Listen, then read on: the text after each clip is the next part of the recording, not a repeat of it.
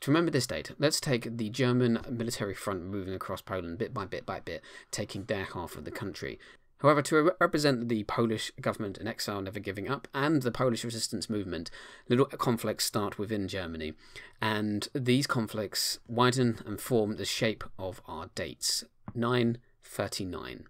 This also represents how the Polish resistance were fallen in Germany's side for the rest of the war. September 1939, the start of the European War of World War II. Thanks for watching.